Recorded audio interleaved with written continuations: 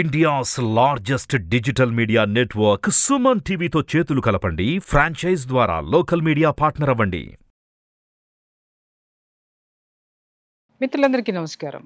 ఎంతో కాలంగా సుమన్ టీవీలో మనకి ఎన్నో విలువైనటువంటి న్యాయ సలహాలను ఇస్తూ ఎంతోమందికి వాటి పైన అవగాహన కలిగిస్తూ ఎన్నో విధాలుగా న్యాయపరమైనటువంటి సహాయ సహకారాలు అందిస్తున్నటువంటి మన అడ్వకేట్ నాగేశ్వరరావు పూజారి గారు ఉన్నారు. వారిని అడిగి వాళ్ళ ఒక వింత కాపురం అనాలో వింత డివర్స్ అనాలో వింత మనస్తత్వాలు అనాలో ఒక టాపిక్ గురించి వారితోటి మాట్లాడదాం. సార్ నమస్తే. సార్ ఈ మధ్య కాలంలో నేను ఒక కేసు విన్నాను. అది బాధపడాలా లేకపోతే ఏం చేయాలనేది నాకు అర్థం కాలేదు. ఒక లవ్ మ్యారేజ్ ఇద్దరు కూడా ఎస్టాబ్లిష్డ్ ఫ్యామిలీస్ నుంచి వచ్చినటువంటి పిల్లలు ఇద్దరు అమెరికాలో జాబ్ కోసం వెళ్ళారు. అక్కడ ప్రేమించుకున్నారు పెళ్ళి చేసుకున్నారు. అంతవరకు బాగానే ఉంది సార్. పెళ్ళైన దగ్గర నుంచి కూడా మరి అంతకుముందు అండర్స్టాండింగ్స్ ఏమున్నాయి అనేది పక్కన పెడదాము. పెళ్ళైన తర్వాత నుంచి కూడా ఆ అమ్మాయి ఏంటి అని అంటే ఆ ఇంటికి సంబంధించినంత వరకు కూడా ఏ విధమైనటువంటి బాధ్యతల్ని అమ్మాయి తీసుకోలేదు. అంటే వంట చేసుకోవడం అనుకోండి లేదా ఇంటి కనీసం అట్లీస్ట్ హస్బెండ్ చేస్తున్నా కూడా ఒక చిన్న సహాయం కూడా చేశారు కదా అమ్మాయి. క్వశ్చన్ చేసినప్పుడు అక్కడి నుంచి గొడవలు మొదలైనవి ఏంటి అనంటే నువ్వెంత అంటే నువ్వెంత. చివరికి అది డివోర్స్ వరకు వచ్చింది. డివోర్స్కి వచ్చినప్పుడు ఇలాగే పెద్దవాళ్ళను కూర్చోబెట్టి మాట్లాడినప్పుడు వచ్చినటువంటి ఆశ్చర్యకరమైనటువంటి ఒకే ఒక్క వర్డ్ నాకు ఇప్పటికీ డైజెస్ట్ అవ్వట్లేదు సార్. వాళ్ళ మదర్ పిల్ల తల్లి అందరూ కూర్చున్నారు అందరూ మాట్లాడారు అన్నిటికీ యాక్సెప్టెన్స్ ఇంటి పనులు చేయట్లేదు నేను షేర్ చేసుకోను వంట నేను చేయను ఏది చేయను. ప్రతిదీ కాఫీ దగ్గర నుంచి అన్ని అబ్బాయి ఇవ్వాలి బట్టలు కూడా అబ్బాయి ఉతకాలి ఫ్లోర్ అబ్బాయి తుడవాలి ఎవ్రీథింగ్ అబ్బాయే చెయ్యాలి నేను షేర్ చేసుకోను అంటే చేసుకోను నాకు అక్కర్లేదు ఉంటే ఉండు పోతే పో ఈ అమ్మాయి స్ట్రాంగ్ వెర్షన్ పెద్దవాళ్ళు నచ్చజెప్పేటటువంటి ప్రయత్నంలో ఆ తల్లి ఇన్వాల్వ్ అయ్యి మా అమ్మాయికి ఆ పనులన్నీ చేస్తే హౌస్ వైఫ్ ఫీలింగ్ వచ్చేస్తుంది. అందుకని చెయ్యదు. ఏం అర్థమైంది సార్? అర్థమయ్యేది ఏముంటుంది? దీంట్లో మనం ప్రధానంగా ఇప్పుడు ఎన్నోసార్లు మనం కొన్ని వందల సందర్భాలలో మనం డిస్కషన్ చేసింది ఏంటి అంటే డైవోర్స్ అనేటి ఎప్పటికీ ఇప్పుడున్న జనరేషన్లో డైవోర్స్ అనే cases comparison to earlier days చూసుకుంటే డైవోర్స్ అనేవి విపరీతంగా పెరుగుతున్నాయి. అవును. ఇప్పుడు ఇంతకుముందు మీరు చెప్పినట్టు అమ్మాయి ఏం చేయను ఇంట్లో. వంట పని కానీ ఇంకా ఇతర పనులు ఏదైనా సరే చేయను అని చెప్పడము అనేది డైవర్స్కి దారితీసింది అనేది ఇప్పుడు ప్రధానంగా మీరు దాంట్లో ఆ- కేసుకు సంబంధించి చెప్తున్నారు మీరు. అంటే ఇంటి పనులు చేయకపోవడం ద్వారా కానీ లేదా ఒక హౌస్ వైఫ్ కింద నేను ఉండను లేకపోతే ఒక హౌస్ వైఫ్ కింద నేను బిహేవ్ చేయను అనటం అనేది డైవర్స్ దారితీస్తుంది అనేది మీరు చాలా స్పష్టంగా చెప్తున్నారు. మీరు అప్పుడప్పుడు పేపర్లలో కానీ లేకపోతే అక్కడ న్యూస్లో కానీ మీరు చూసి ఉండొచ్చు చాలా సందర్భాలలో. చికెన్ కూర ఉండలేదని డైవర్సు? ఓకే. తర్వాత ఇంకొక చాలా సోషల్ మీడియాలో కూడా బాగా ఎందుకంటే తల్లిని అతి ప్రేమగా చూసుకుంటున్నాడు. డైవర్స్ ఇట్లాంటి ఫుడ్ హ్యాబిట్స్ గురించి కావచ్చు. కొన్ని విషయాల మీద గ్రీడీ ఉన్నారని ఇట్లా రకరకాల డైవర్స్కి ప్రధానంగా చిన్న కారణాలే అవి పెద్దగా అయిపోతాయి. ఓకే?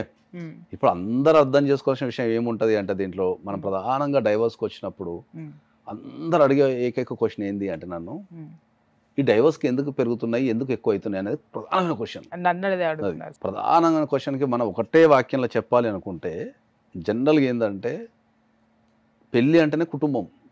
అటు సైడ్ కుటుంబం ఇటు సైడ్. కుటుంబం ఒక రెండు కుటుంబాలు కలిస్తే పెళ్ళి అవుతుంది. ఓకే. సో ఈ పెళ్ళి అనే దాన్ని కూడా ఏం చేశారంటే ఏంటంటే ఇండివిజువాలిటీ కిందకి తెచ్చేశారు. నువ్వు నేను. అంతే. లేదా నేనే? అంతే నేనే. నేనే. నేను కాదు నువ్వు బాగానే ఉంటుంది అందులో. కరెక్టే నువ్వు నేను ఇద్దరు బాగానే ఉంటారు. ఇక నువ్వు నేను కూడా పోయింది ఇప్పుడు. నేను నా జీవితం Mm. నా కెరియర్ నా. మనీ ఉమ్, నేను ఇట్లనే ఉన్నారు అంతా. అసలు ఇండివిజువాలిటీకి అసలు మీనింగ్ ఏంటి చెప్పండి? వాళ్ళ కోసం మాత్రం బతకడాన్ని ఇండివిజువాలిటీ అంటాం మనం అంతే సింపుల్. ఇప్పుడు ఇప్పుడు, ఇప్పుడు వీళ్ళు మాట్లాడేటటువంటి. ఇండివిజువాలిటీ పూర్తిగా స్వార్థంతో కూడుకున్నది. అంతే కదా. ఇప్పుడు. మనకు వచ్చే చాలా సందర్భాలలో ఏంది అంటే కోడలు ఉంటుంది జనరల్గా కోడలు ఏం చెప్తుంటది హస్బెండ్ తోని మనం వేరే కాపురం పెడదాం. మీ తల్లిదండ్రులు రావద్దు. మీ తల్లిదండ్రులు మాట్లాడద్దు. వాళ్ళకి. ఫైనాన్షియల్ హెల్ప్ చేయొద్దు అని అట్లా. ఆడపిల్లలు రావద్దు అట్లా. ఇంకా ఇంకా కొన్ని కేసులలో ఏంది అబ్బాయి వాళ్ళు కండిషన్ పెడుతుంటారు. మీ తల్లిదండ్రులు ఇంటర్ఫరెన్స్ ఎక్కువ ఉంది. వాళ్ళు గైడ్ చేసినట్టు నడుస్తున్నావు లేకపోతే నువ్వు సంపాదించిన పైసలు వాళ్ళకి ఇస్తున్నావు. లేకపోతే నువ్వు సంపాదించిన పైసలు నాకు ఇవ్వటంలే ఇట్లాంటివన్నీ కారణాలు జనరల్గా ఎక్కువ ఉంటాయి. వీళ్ళందరికీ అర్థం కాని విషయం ఏంటి అంటే అటు ఆడపిల్ల సైడ్ అయినా సరే ఇటు మగపిల్ల అయినా సరే పెళ్ళి అంటేనే రెండు కుటుంబాలు. ఎగ్జాక్ట్లీ అండి. నువ్వు పెళ్ళి చేసుకుంటున్నావు అంటేనే. నువ్వు ఎదుటి వ్యక్తి కుటుంబాన్ని యాక్సెప్ట్ చేయాలా? ఇద్దరు బోధ పార్టీస్ సరే Yes. నేను ఒక కొత్త కుటుంబంలోకి వెళ్ళిపోతున్నా. అక్కడ రూల్స్ రెగ్యులేషన్స్ అనేటివి ఫ్రేమ్ అయిపోతాయి. ఒక్కొక్కరు ఒక్కొక్క కుటుంబాన్ని నడిపే విధానంలో ఏమైందంటే కుటుంబం అనేది ఒక ఇన్స్టిట్యూషన్ లాంటిది. వాళ్ళ వాళ్ళ అవసరాలను బట్టి వాళ్ళకున్న ఫెసిలిటీస్ని బట్టి. వాళ్ళకున్న సంపాదన బట్టి వాళ్ళకున్న సోషల్ స్టేటస్ని బట్టి. ఈ కుటుంబాలకు సంబంధించి రూల్స్ ఏర్పరచుకుంటారు ఎగ్జాక్ట్లీ ఓకే అవును వాళ్ళకు కొందరు నైట్ షిఫ్ట్ చేసే వాళ్ళు ఉన్నారు అనుకో ఇప్పుడు. ఫాదర్ నైట్ షిఫ్ట్ చేసే ఫాదర్ ఉంటాడు. సింగర్ ఇలాంటి దాంట్లో చేసే ఫాదర్ ఉంటాడు వాళ్ళకి నైట్ షిఫ్ట్ ఉంటుంది. వాళ్ళు ఇంటికి వచ్చి పడుకునే విధానం కానీ పొద్దున్న లేచే విధానం కానీ ఫుడ్ హ్యాబిట్స్ కానీ ఇవన్నీ చేంజ్ అవుతాయి వాళ్ళకి. According to their according to their ఫ్యామిలీకి సంబంధించి వాళ్ళు అవి సెట్ చేసుకుంటారు. స్మూత్ ఫంక్షన్ కావడానికి ఓకే?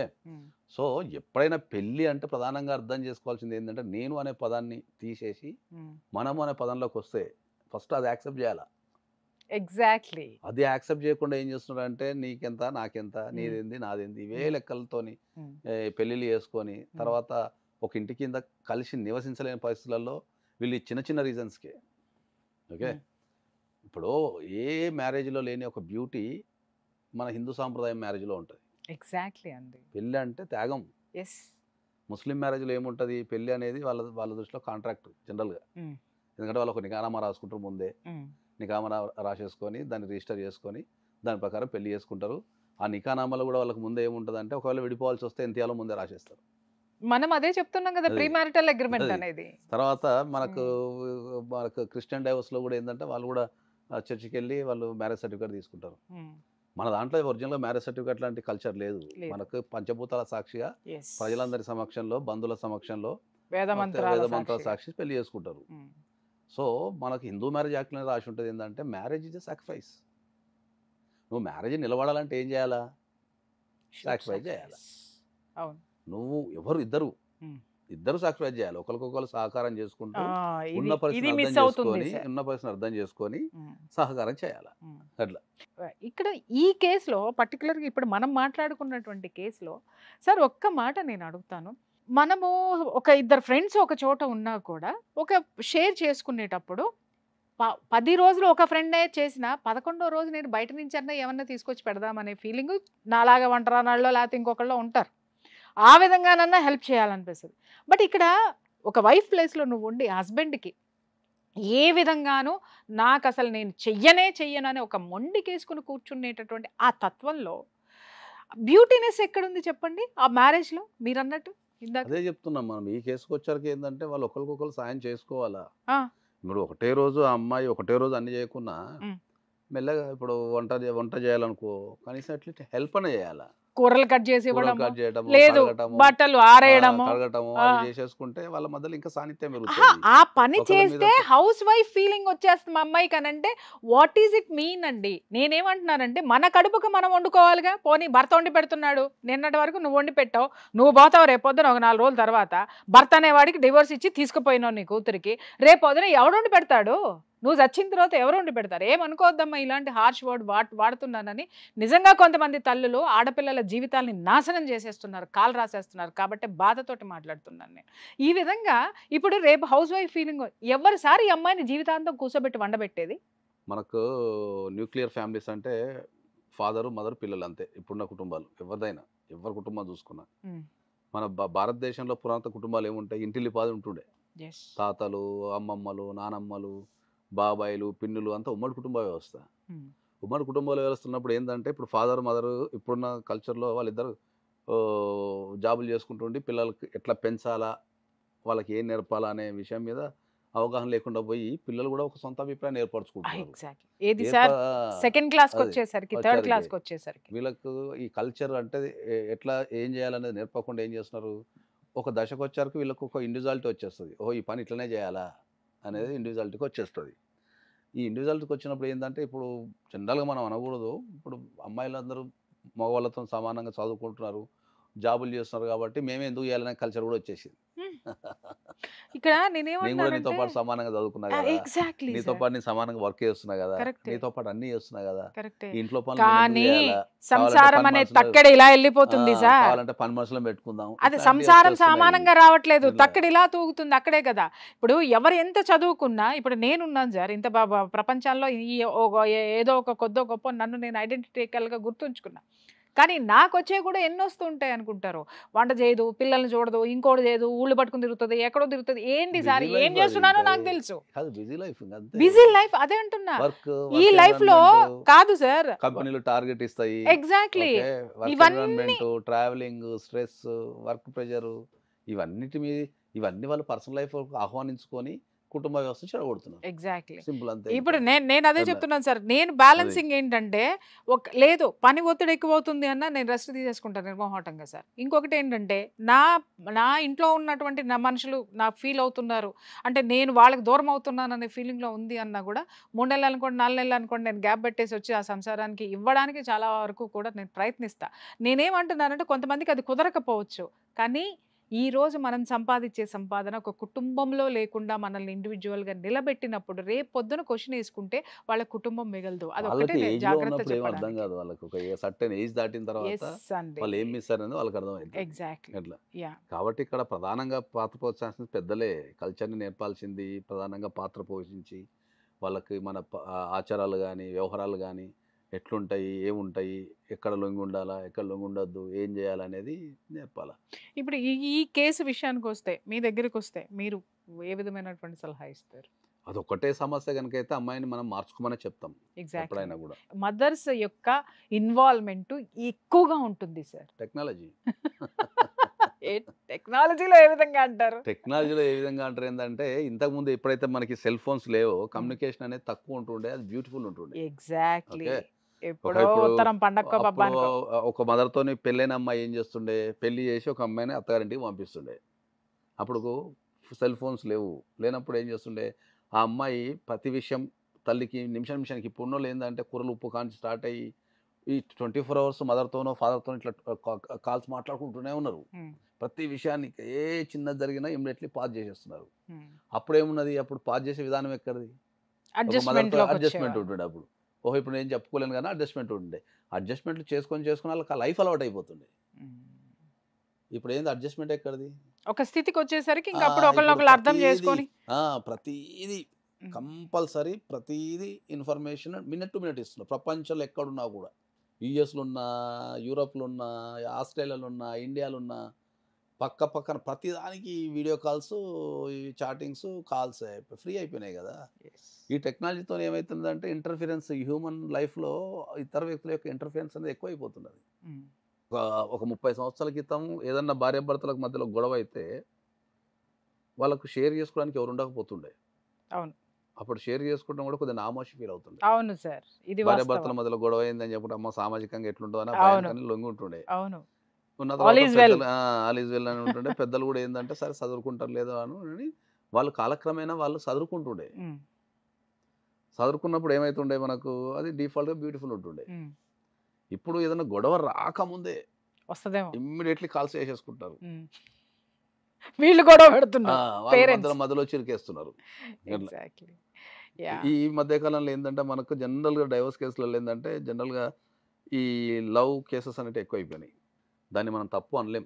సామాజిక. పరంగా తప్పైనా కూడా శారీరక పరంగా కానీ ఇంకా ఇతర విషయాల్లో కానీ వాళ్ళ వాళ్ళ కోరికలు కానీ షేర్ చేసుకోవడం కానీ కొన్ని ఉంటాయి అవి. అవి మనం యాక్సెప్ట్ చేయాల్సిందే అవి. ఈ సెల్ ఫోన్ లేని కాలంలో ఏమంటుండే ఒక ఇద్దరు వ్యక్తులు ప్రేమించుకున్నారు అనుకుందాం ప్రేమించుకున్న తర్వాత దొరికారు దొరికినప్పుడు ఏం చేస్తుండే పెద్దలు వాళ్ళని విడదీస్తుండే విడదీసేసి పెళ్ళిళ్ళు చేసి వేరే ఊరికి పంపిస్తుండే. ఒకవేళ ఒక అమ్మాయి ఒక వ్యక్తిని ఒక ఊర్లో ప్రేమించింది. ప్రేమించిన తర్వాత కొంతకాలానికి దొరికింది అనుకుందాం. దొరికినప్పుడు ఆ అమ్మాయిని తిట్టో కొట్టో బెదిరించో భయపెట్టో అది కాదని చెప్పేసి వేరే పెళ్ళి వేరే అబ్బాయికి పెళ్ళి చేసి పంపిస్తుండే. అంటే ఈ అమ్మాయికి ఇంట్రెస్ట్ లేకుండా పెళ్ళి చేసి పంపించిన ఆ అమ్మాయి ఇంట్రెస్ట్ లేకుండా వెళ్ళిపోయినా కూడా. అప్పుడు సెల్ ఫోన్స్ కాంటాక్ట్ దాని లేదు కాబట్టి పోయిన తర్వాత ఒక పదిహేను రోజులు ముఖాభావంగానో లేకపోతే ఇంకెట్లనో మొగుతో ఇంట్రెస్ట్ లేకుండా ఉన్నట్టు అత్తమామతో ఇంట్రెస్ట్ లేకుండా ఉన్నా కూడా ఆ పెద్ద మనుషులు కానీ మొగుడు కానీ ఏమనుకుంటుండే అప్పట్లో? అరే కొత్త. ఇంటికి వచ్చింది కదా కొత్త. ఇంటికి వచ్చింది కదా భయపడుతుంది అని వాళ్ళు అట్లా? Yes. కొంతకాలానికి ఏమవుతుందంటే కాలం బలమైనది కాలం బలమైనది ప్రపంచంలో అన్నిటికంటే శక్తివంతమైనది కాలమే అది బలమైనది ఈ హడావుడిలో పడి పడి పడి మెల్లగా ఈ లవ్ స్టోరీ మర్చిపోతుండే. పోయి మెల్లగా ముగ్గుతోనే మమేకమైపోయి మెల్లగా పిల్లల్ని కానీ కాపాడు. అంటే కాంటాక్ట్ విధానం లేకపోవడం. తర్వాత వీళ్ళు ఇట్లా అర్థం చేసుకొని వీళ్ళు కోఆపరేషన్ చేసి అంతా ఒక పద్ధతి ప్రకారం ఎవరికి సంబంధం లేదు జరిగిపోయి ఓ బ్యూటిఫుల్ ఫ్యామిలీ ఏర్పడుతుండే. ద సేమ్ స్టోరీ ఇప్పుడు అనుభవించండి ఇప్పుడు బాయ్ ఫ్రెండ్ బాయ్ ఫ్రెండ్ ఉన్నాడు మూడో ఆ, మూడో రోజు కాదు బాయ్ ఫ్రెండ్ ఉన్నాడు దొరికేసిండు. ఇంట్లో తిట్టి వేరే పెళ్ళి చేసిన వీళ్ళిద్దరు తెల్లవాళ్ళు చాటింగ్ చేసుకుంటూనే ఉంటారు ఇంకా. ఏమైనా పెళ్ళి ఎప్పుడైనా ఎవరు కొడతాడు ఒక కట్ట తా- తాళి కడుతుంటారు ఏమో కొడుతుంది. ఈ బాత్రూంలో పోయి ఎస్ఎంఎస్లు పడుకునే ఎస్ఎంఎస్లు నిలబడే ఎస్ఎంఎస్లు ఇక వాళ్ళ ఇద్దరి మధ్యలో సంబంధం ఎక్కడ అయిపోయింది. ఆమె ఆ అమ్మాయి ఆ మొగుడి మీద ఎప్పుడు దృష్టి పెడుతుంది ఇంకా. ఈ మనసంతా ఆన్నే ఉండిపోయే. కాంటాక్ట్ ఆన్నే ఉండే.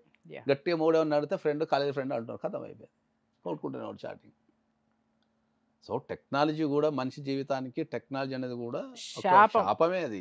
అందరూ ఏమనుకుంటారంటే వరం వరం అనుకుంటాం. అనుకుంటారు కానీ టెక్నాలజీ హండ్రెడ్ పర్సెంట్ మనిషికి శాపం. శాపమే ఎవరికైనా సరే నేను చెప్తున్నాను పెళ్ళి అనేది నూరేళ్ళ పంట. అది ఎంత అద్భుతంగా ఉంటే దాన్ని మీ ఆ పంటని ఎంత బాగా పెంచుకొని ఒక మొక్క విత్తనం పెళ్ళి అనేటటువంటి తాళి అనేటటువంటి విత్తనాన్ని నాటి పిల్లలు అనేటటువంటి మొక్కలతోటి ఆ సంసారం అనేటటువంటి పంటని ఎంత జాగ్రత్తగా మీరు అద్భుతంగా పండించుకోగలిగితే ఆ జీవితం సంపూర్ణంగా ఆనందంగా ఆరోగ్యంగా ఉంటుంది. దయచేసి మీ అందరికీ కూడా చెప్తున్నాను పేరెంట్స్కి కూడా చెప్తున్నాను అమ్మ మీ స్వార్థం కోసం మీ పిల్లల జీవితాలు మాత్రం బలి చేయకండి. ఓకే? Thank you